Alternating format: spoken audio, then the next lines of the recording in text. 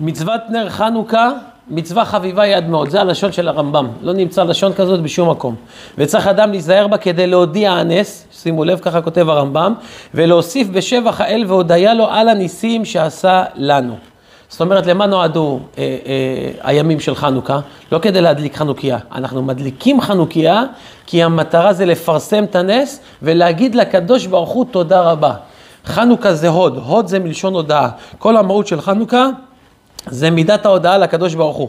ובכוח ההודעה וההלל שאנחנו אומרים בימים האלה, גומרים את ההלל לשמונה ימים, כותב רבי חיים פלאצ'י, נעשה בשעת הדלקת הנרות חנוכה עת רצון במרומים, ומידת הדין מתבטלת ומתעוררת מידת הרחמים כשמדליקים נרות חנוכה. והוסיף הקדוש בעל הבני יששכר, כי בדרך כלל השערים של גן עדן, הוא כותב, הם סגורים בלילה. אבל כשמדליקים נרות חנוכה, תרעין פתיחין, השערים פתוחים כבר. הם כבר פתוחים לפני. למה? בגלל חנוכה. שימו לב למעלה של חנוכה. כותב עוד רבי חיים פלאג'י, הוא מביא את זה בשם הזוהר הקדוש, שאמרנו שבשעת הדלקת הנרות מתעוררת מידת הרחמים, מתעוררת מיד, מידת רחמים גדולה, ושרה מידת הדין כגודל והמעלה של מה? כמו בזמן תקיעת השופר. איך כשאנחנו תוקעים בשופר, מה אנחנו אומרים? עלה אלוקים בתרועה, השם בכל שופר. אלוקים זה מידת הדין, השם זה מידת הרחמים. כשתוקעים בשופר, מידת הדין שרה, ומגיע מידת הרחמים. כותב רבי חיים פלאצ'י, כשמדליקים נרות, זה כמו תקיעה בשופר. מידת הדין זזה, ונכנס הזמן של מידת הרחמים. הגמרא מספרת במסכת עבודה זרה, שפעם אחת אה, הוכנסה אחותו. אחותו, אחות אשתו של רבי מאיר בעל הנס, שדרך אגב, עכשיו זה גם ערב ההילולה שלו, לפי הבן איש חי, באלף בטבת, ראש חודש טבת, זה, אה, זה יום ההילולה, ככה הוא כותב, יום ההילולה של רבי מאיר בעל הנס, וכדאי להדליק נר לעילוי נשמתו, אז הנה אפרופו אנחנו גם נספר סיפור. אז אה, חמו היה רבי חנינה בן תרדיון. אחד מעשרת הרוגי מלכות, ואחרי שהרגו אותו, לקחו את הבת שלו ושמו אותה בשוק של פרוצות. אמרו לה, פה את תהיי, זה המקום שלך. אז באה אשתו של רבי מאיר בעל הנס, שקראו לה ברוריה, וברוריה הייתה אישה גדולה, אישה מאוד חכמה, ואמרה לו, רבי מאיר, אשתי נמצאת, אחותי נמצאת שם, לך תוציא אותה. אמר לה בתנאי אחד, אם היא שמרה על עצמה, אני מוציא אותה. אם היא לא שמרה על עצמה, אני לא משחרר אותה. אז הוא הלך לבית האסורים, והוא נתן שוחד לשומר והכל, אמר לו, תשמע, השוחד שלך לא, לא יעזור לי, ברגע שהם ידעו שאני שחררתי את גיסתך, יהרגו אותי בו במקום. מה אתה נותן לי כסף? מה יעזור לי? אמר לו, אל תדאג, אני אתן לך טריק. אמר לו, ברגע שבאים אליך ורוצים להרוג אותך, תגיד את המשפט, אלהא דמאיר ענני. תגיד את זה ויעזור לך. אומר לו, מה זה, אברקדברה? אלהא דמאיר ענני? אומר לו, בוא תנסה. לקח אותו למקום של כלבים, ושחררו אותם. איך שהם התחילו לרוץ, אמר לו, תגיד. אמר אלהא דמאיר ענני, הכלבים עצרו, נרגעו. אמר לו, אתה רואה, זה עובד. טוב, זה הסיפור הידוע על רבי מאיר בעל הנס. ו, ושואל רבנו המהרש"א שאלה גדולה. הוא אומר, איך ייתכן שרבי מאיר איחד את השם של הקדוש ברוך הוא על עצמו? חכמים קבעו שאין הקדוש ברוך הוא מייחד את השם שלו על הצדיקים בחייהם. יעקב אבינו, מה הוא אמר? אלוהי אבי אברהם ופחד יצחק היה לי. אברהם כבר נפטר מן העולם, אז היה אפשר להגיד אלוהי אבי אברהם. פחד יצחק, יצחק הגם שהיה בחיים, הוא היה עיוור, ועיוור נחשב כמת, אבל על עצמו לא אמר, למה? כי הקדוש ברוך הוא לא מייחד את השם שלו על הצדיקים בעודם בחיים. אז מה רבי מאיר בעל הנס, אתה יותר טוב מאברהם, יצחק ויעקב? אתה מייחד את השם שלך? אלהא דמאיר ענני? איך זה יכול להיות? מתרץ אמר שתירוץ אדיר. כשאמר רבי מאיר לשומר אלהא דמאיר ענני, הוא לא, התכוון, הוא לא התכוון לעצמו, אלא פירוש אחד, הוא התכוון לבורא עולם דרך הפסוק, המאיר לארץ ולדרים עליה ברחמים. אלא הדמאיר לארץ ולדרים עליה ברחמים, הוא שיענה אותך. לא התכוון לעצמו. ויותר מזה, והתירוץ השני שהוא יותר קשור אלינו, אמר לו רבי מאיר בעל הנס, אם תיתפס, תזכיר את האלוקים שהאיר לנו בניסים גלויים בחג החנוכה, תזכיר את זה, ועל ידי זה הוא יציל אותך. זאת אומרת, מה אמר לו בעצם? תגיד חנוכה. תגיד חנוכה, אלעד דמאיר ענני, תיזכר בחנוכה, ועל ידי זה שאתה תיזכר בנס חנוכה, שבנס חנוכה הקדוש ברוך הוא העיר לנו את בית המקדש נגד היוונים, אתה תנצל. זאת אומרת שהסגולה של שנים כבר שאנחנו אומרים אלעקא דמאיר ענני, זה שאפילו רק על ידי הזכרת הנס של חנוכה זוכים לישועות. רק מזכירים את הנס של חנוכה, זוכים לישועות. אפרופו, כותב החידה, לכן צריך להגיד, כשאומרים אה, ענני, אלעד דמאיר ענני וכל הביטויים האלה, צריך להגיד אלעד דמאיר, לא אלעד דרבי מאיר. למה? כי זה המקור, הוא לא התכוון לעצמו, הוא התכוון לקדוש ברוך הוא. אז הנוסח הנכון זה אלעד דמאיר ענני. עכשיו שימו לב, רק על ידי הזכרת השם של חנוכה, זוכים לניסים וישועות. אז קל וחומר, בנו של קל וחומר, כשאנחנו בתוך ימי החנוכה, כמה ניסים יכולים להעיר לנו.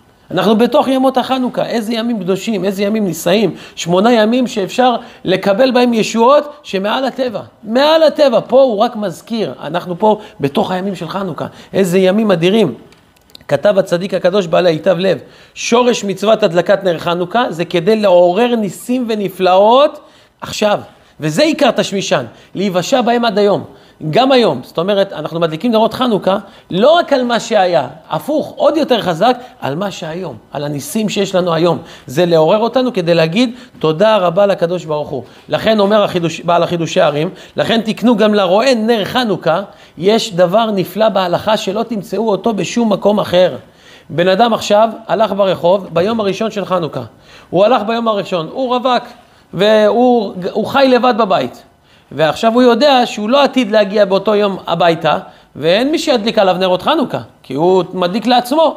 הוא נמצא ברחוב בחצי שעה הראשונה של ההדלקה, והוא רואה נרות חנוכה דולקים. מה ההלכה כותבת? הוא יכול לברך. אם זה היום הראשון, הוא יכול לברך שתי ברכות. שעשה ניסים לאבותינו בימים ההם בזמן הזה, ושהחיינו וקיימנו והגיענו לזמן הזה, למרות שלא הוא הדליק. להדליק הוא לא יכול לברך כי לא הוא הדליק, אבל את הברכות האחרות הוא כן יכול לברך. לא מצאנו דבר כזה בשום מצווה אחרת. בן אדם אחר עושה את המצווה, אני על הדרך, אני יכול לברך את הברכות האלה. למה? כי ההערה של הניסים, היא מתעוררת גם בשבילך על ידי הנרות, לא משנה שהוא הדליק אותם. ההערה של הניסים שלי יש על ידי הנרות של חנוכה, היא מתעוררת בשעת הדלקת הנרות. לכן זה חשוב כמה שיותר חנוכיות, כמה שיותר נרות, כמה שיותר אורות, כמה שיותר בעזרת השם ניסים וישועות.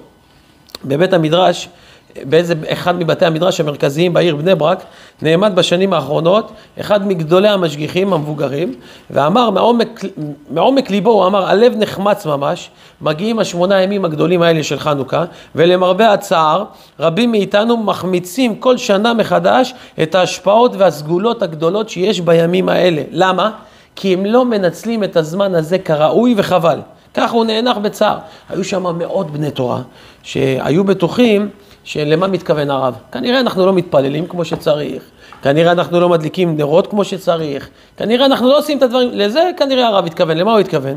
ואז הרב, הוא עצם את העיניים והוא אמר את המשפט הבא, אנחנו מפסידים את עיקר הימים האלה, מה עיקר הימים האלה? להודות ולהלל ולשבח את בורא עולם. זה עיקר הימים של חנוכה. ככה הוא צעק, להודות ולהלל. זה העבודה הקדושה של הימים האלה. ובהודעה להשם בימים האלה, זוכים להגיע לניצול והשגת המעל, המעלה של הימים הגדולים האלה. האדם צריך לעמוד לפני הקדוש ברוך הוא בשמונה הימים האלה, ולהודות לו על כל מה שהוא עושה איתנו ועל מה שהוא עתיד לעשות איתנו. תודה רבה לך השם, זה המהות של חנוכה. על מה שעשית, על מה שאתה עושה, ועל מה שאתה תעשה איתנו בעזרת השם. לשמוח על כל הטוב ולהגיד תודה. ואז הוא נתן עצה לכולם. אמר להם, אתם רוצים לממש את העוצמה האמיתית של חנוכה, מה תעשו? אמר, אם אתם רוצים באמת לזכות גם לכל השפע של הברכות וההשפעות של החג הקדוש הזה, כל אחד ילך הביתה, יגיד לאשתו, יגיד לילדים, ייתן לכל אחד דף, ייתן לכל, לכל אחד עט, וכל אחד ירשום בתוכו את כל הטוב שעשה לו הקדוש ברוך הוא. ואז מה יעשו? ובימי החנוכה, בזמן שמדליקים את הנרות, מוציאים את הדף הזה, כל אחד קורא, אומר תודה רבה לך השם על מה שנתת לי. בשעת הדלקת נרות חנוכה, וככה נגיע לשמחה אמיתית בהשם. כי זה המהות של חנוכה, להודות, להלל ולשבח, עוד בשעת הדלקת הנרות. כשאתה עושה את זה, אז יש מלאכים שכתוב שרפים עומדים ממעלו. יש מלאכים שעומדים מעל החנוכיה. הם רואים כמה יהודי הזה אומר תודה רבה לקדוש ברוך הוא, הם לוקחים את התודה הזאת, שרפים עומדים ממעלו, מלאכי אלוקים עולים ויורדים בו, מעלים את הכל למעלה לקדוש ברוך הוא. הוא תראה, תראה היהודי הזה איזה תודה הוא אומר לך. וכשיהודי אומר תודה, הקדוש ברוך הוא עושה לו עוד טוב. כשיהודי אומר תודה על נס שנעשה לו, הוא זוכה ונעשה לו נס נוסף. ובחנוכה רבותיי, כל השנה, אם בן אדם הוא, הוא, הוא, הוא, הוא זוכה לנס, מנקים לו.